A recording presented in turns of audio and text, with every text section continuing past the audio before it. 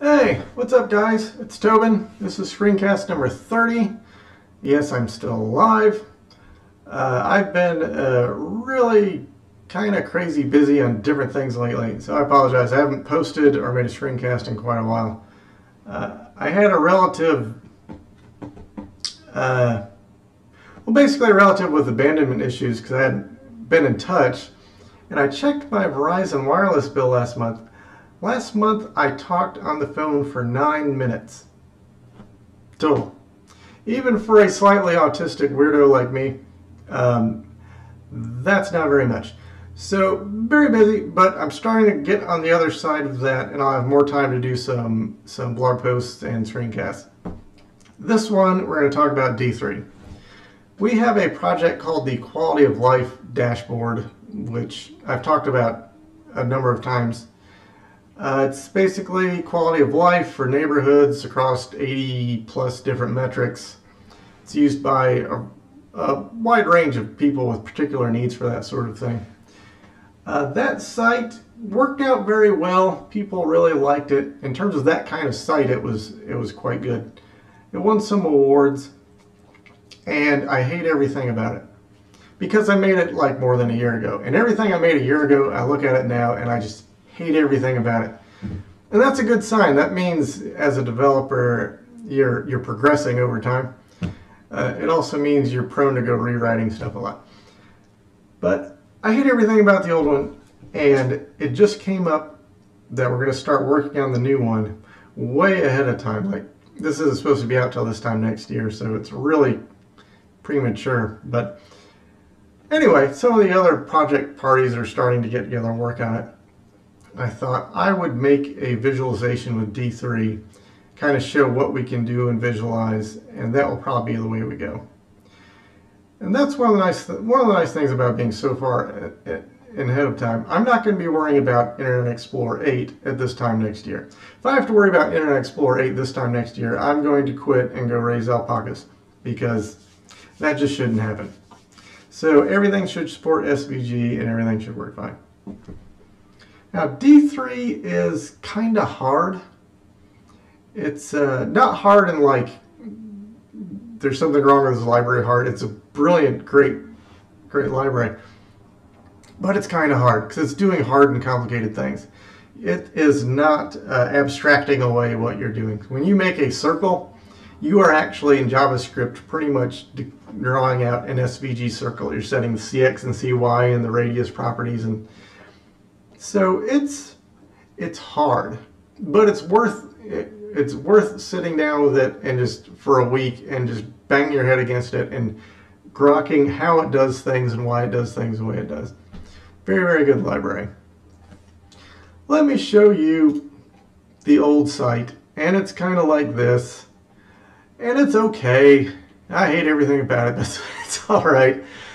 Things I particularly don't like about it now are uh, I'm starting to get not so into these big header areas. It's eh, kind of a waste. Uh, the, people usually know the site they went to. You can make it smaller. It puts a big, it's very, very dense, very information dense. I want to get that density down by quite a bit. That density is kind of off-putting. It's so dense. It puts a premium on this contextual information that I guarantee you no one really reads. So I want to demote that in the visual hierarchy. And even the page hierarchy, I'm getting it way down at the bottom. In terms of visualizations, you get like this one bar chart which shows you the county mean and your selected neighborhood's mean. So you can see how you are with the rest of the county. Not terribly interesting. So yeah, hate everything about it. This is what I'm thinking of for the new release, and this is very raw. And what I'm going to do for the GitHub repo, because the whole Quality Life Dashboard project's out on GitHub. Feel free to do whatever you want with it. Um, I'm going to make a dev branch for that uh, for that repo and then stick what the new version will be in there. So that way you can play around with any of that code if you want. Warning, uh, there are developers that like when they They'll be like, before I write my first line of JavaScript code, I write my first 87 unit tests and then try to shoehorn it into the most complicated MVC framework I can find, all while, you know, chanting a mantra to Douglas Crockford. Not me. My, uh, my initial code is a hot pile of shit. So when you look at it, expect that. It's, it's not very good. I'm not, I'm violating the dry principle, don't repeat yourself all over the place. Be forewarned, it is early days. But you're welcome to look at it and do it, whatever you want with it. This is kind of the layout what I'm thinking in a in a raw a raw sense. Uh, you notice it's mu there's much more air in it. It is much a hundred times less dense. So you can immediately grok it and get your eyes around it, and it's much more visually pleasing. It's less of a visual assault. Um, there's like four pieces to it right now. There's basically a drop down where you can pick two metrics I've just set up with fake data, and a map and a chart and a time slider. Now, the, this is kind of interesting. The chart is the legend, and the legend is the chart. I got this idea from a project called Crosslet, which is leaflet and crosslet no, Crossleaf, which is leaflet and D3 and crosslet. Or something like that. I'll put a link to it in show notes. But he had a chart, and I looked at it, and the bars on the chart were actually the colors of the map. It was the legend. Thought that is friggin' genius. So of course I stole that, and and props go to go to that guy, and I'll put a link to it. Well, you can see the uh, chart is the map and the map is chart. That's the legend. That's really neat.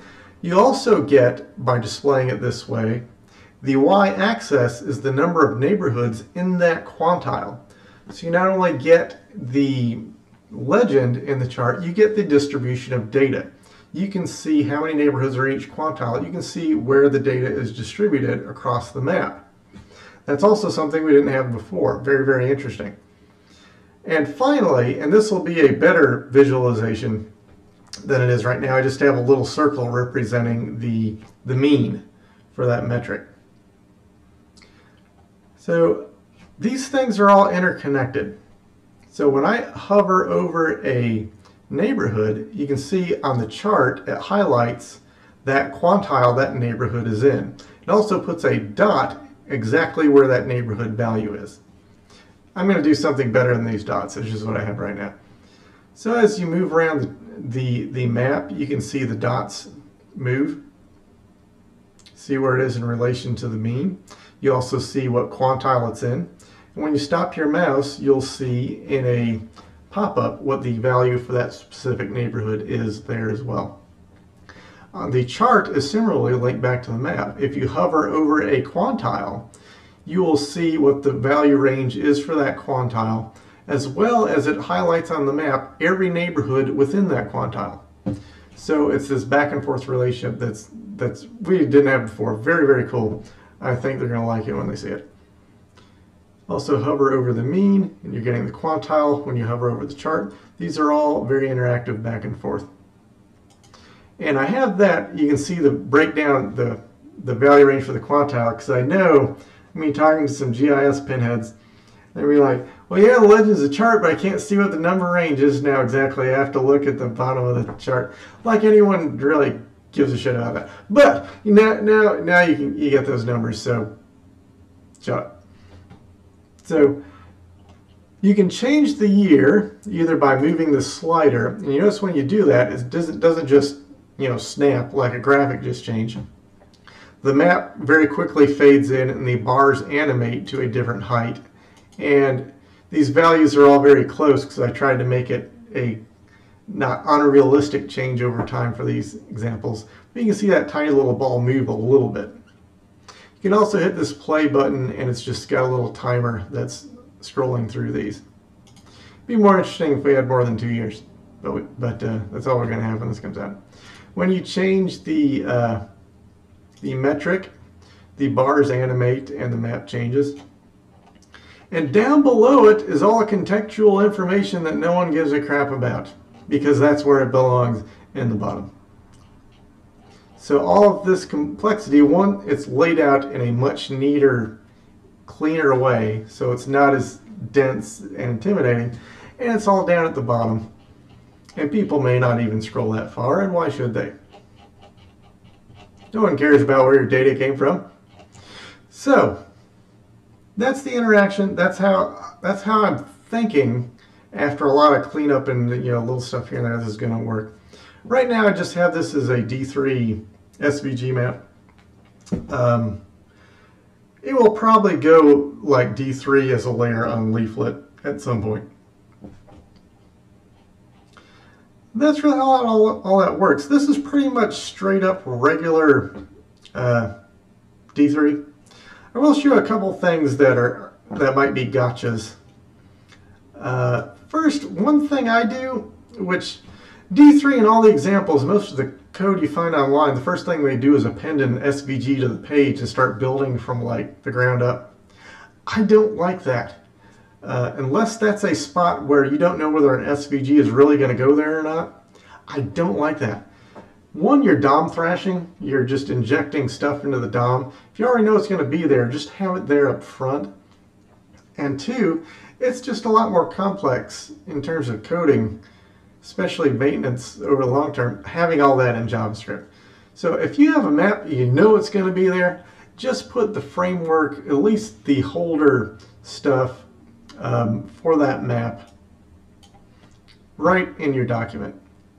And here for the chart, I actually put in the groups for the, the bars and the x-axis, axis, axis, um, and those little mean circles.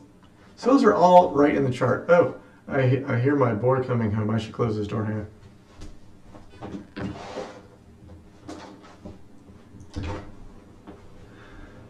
So I put that right in the DOM from the get-go. Um, it's just a less expensive way to go in terms of performance, and it's less expensive in terms of coding and code maintenance over the long term. My opinion. That's just kind of my style. Could be wrong about that. It would be handy if you don't know if the browser supports SVG or not, to not put the SVG in there up front and to have it either do some old-timey stuff there or just pop up an image say, hey, uh, even the Amish are on 9 now. But when this launches, it's going to be this time next year, and I will not give a flying anything about people still on IE8 at that point. So that's one thing I do that's a little different. Um, these uh, tooltips are bootstrap tooltips. To get those to work on an SVG element, you absolutely must do not pass go, do not collect anything. You must, when you make the tooltip, uh, put container body as an option. Otherwise, Bootstrap doesn't know where to put that in relation to an SVG, and uh, you're screwed. It's not going to work. So put that there, or you'll be disappointed. There's none. One one thing I've been experimenting with is the best way to do responsiveness. There's a guy out there. I'll put a link to it. That has some good posts on responsive maps and charts. Um, but it's non-trivial with D3, and I hate non-trivial things. I found that with like this map, what I could do is set uh, this preserve aspect ratio property of the SVG to xmin ymin, and then in the code I set for that head SVG a viewport size as well. What that does is it will just kind of automatically scale stuff for you, which is kind of nice. I have that with the chart too, but the chart you'll see when I move it in, it scales down the fonts and everything, so I don't really like that. For that, what I might end up doing, probably end up doing, is just store the size of the, the width of the chart, and with a page move, if the container is smaller then the size of that chart, just redraw that chart. I'll probably do something like that. So responsiveness is something you have to think about. The other thing I'm going to do probably is replace this drop down with like a, a Twitter type ahead. That way I can put some fancier stuff in there and people can search through it. Those are just a couple tips. And again, this code will be kind of a hot mess if you look at it. I've got at least the bar chart and the map separated out into their own include files. Uh, the bar chart right now is a big mess. The map itself, you can see, is not a whole lot of code. It's pretty clean. And to it's it's using TopoJSON.